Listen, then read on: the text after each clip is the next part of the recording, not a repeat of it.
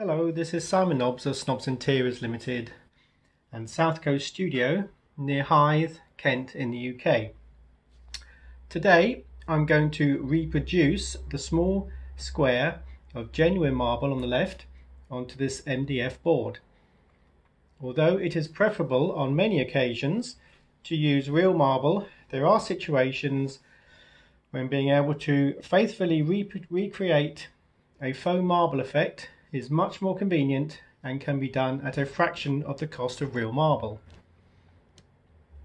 For example, if you already have a wooden or plaster fire surround fitted and you would rather it was marble, this can be achieved.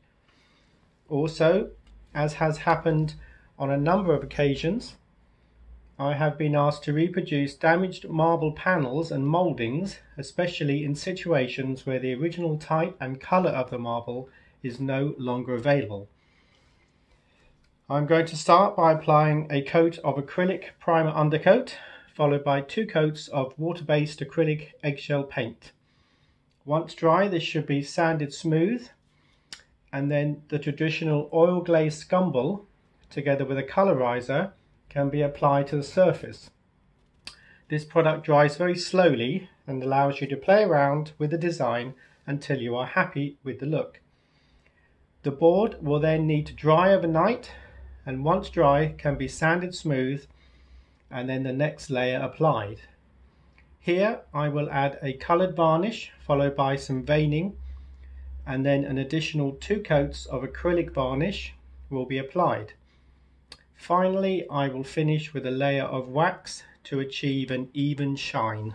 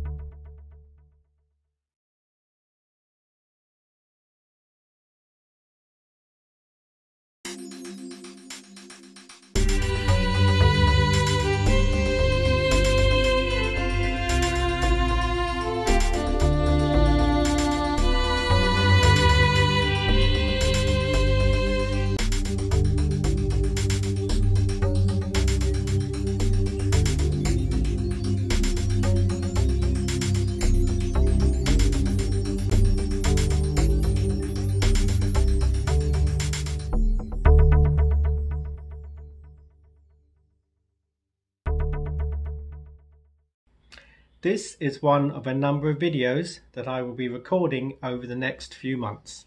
I would like to say thank you to everyone who has subscribed to my YouTube channel and to everybody who has left comments on my previous videos. It's always great to get feedback. Thank you for watching and please leave a thumbs up.